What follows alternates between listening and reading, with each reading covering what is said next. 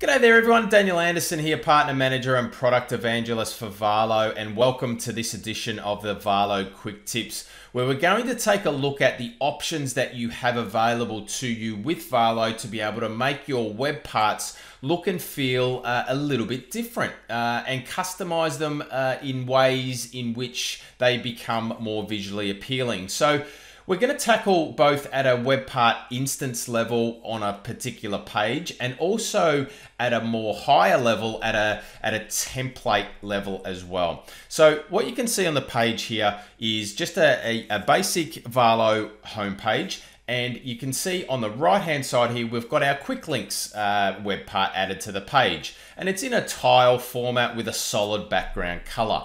Now let's just say that we want to have maybe some rounded corners and we'll remove the background color and, and just change uh, the visual uh, display of these tiles. So let's just jump into edit mode here. And what we can see here in the web part properties of this web, web part here is a styling section. So, and when I click on that, I can add some additional CSS here. So I've already gone ahead and written some CSS and I'm gonna paste that in this box here. I'm gonna make it format a little bit nicer here and we'll hit save. So now that I've saved that, I'll republish this page and you can see the look and feel of these tiles now has changed to a, a rounded corner. Uh, we don't have that solid blue background anymore and we've got the, the, the icons and the text are now in blue.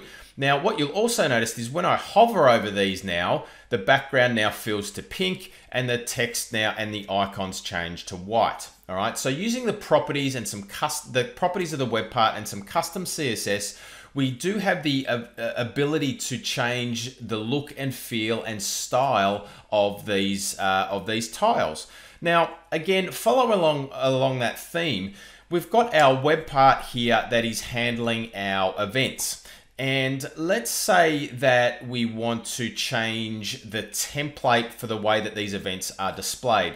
So what we just did there was we, we changed the instance of a web part on this particular page but it wouldn't affect other web parts on other pages that are using the, the quick links. But if we wanted all of our events web parts to have the same look and feel, then we can do that at a higher level, at a template level, and at a theme level. So using our uh, theming engine called Lightsaber, what we can see here is that I've got an option here to apply some template CSS. Now, the template that, that uh, this web part here is using is what's called compact events. Now, what I can do here, again, I've written some CSS here and I have, let me just paste that in here. You can see here that I'm adding a border radius of 25 pixels to, uh, to the event. So I'm just gonna go ahead and save that now. And now what's gonna happen after I apply this theme to the intranet, every web part instance that is using that particular uh, template is going to have that CSS applied. So let's just wait for that to apply. So that has now applied. Now let's jump back onto the home page and see what the results are. So I'm just going to jump into the toolbox here and I'm going to clear the browser cache and reload the page. And now let's have a look at how our events display now.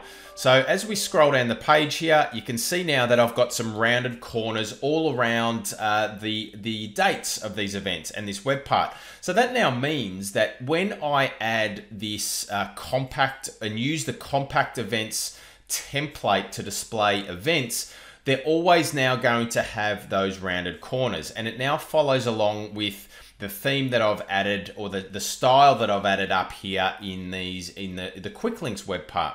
So as you can see there, we do have a lot of flexibility and the, the customization options for you to be able to not only customize the look and feel of web part instances of a page, but also at a more higher level where we can apply some styling to templates. And when those templates are used with our web parts, it's going to apply those custom stylings to those uh, to those web parts across the board as well.